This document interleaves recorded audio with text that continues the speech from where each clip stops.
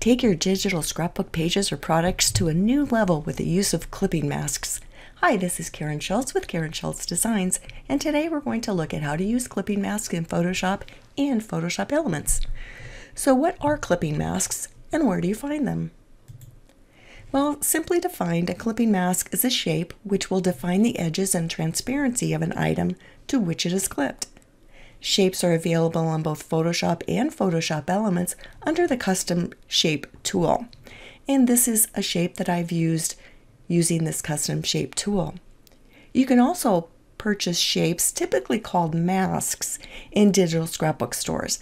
And this is a mask that is included in one of my products called Window Masks.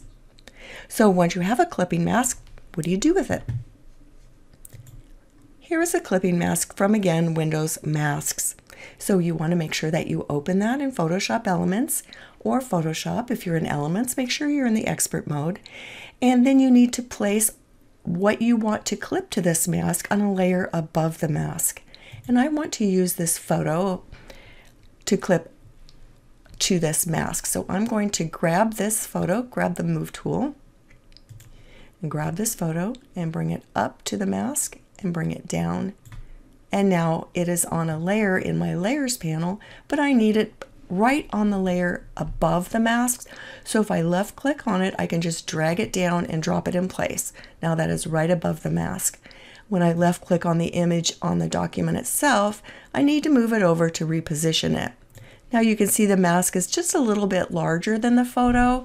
So you can either enlarge the photo just a little bit or decrease the size of the mask. I'm going to decrease the size of the mask just a little.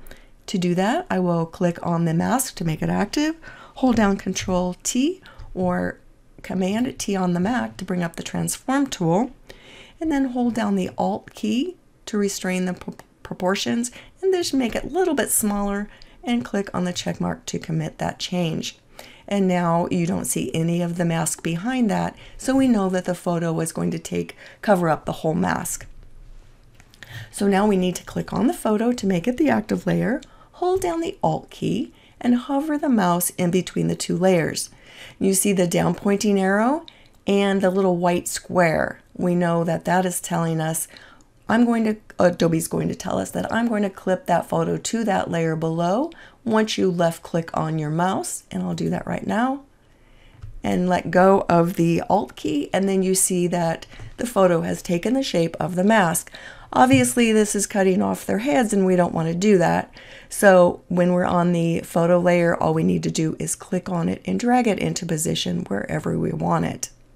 So we can move this anywhere we want. I think that looks good. And that's all there is to it.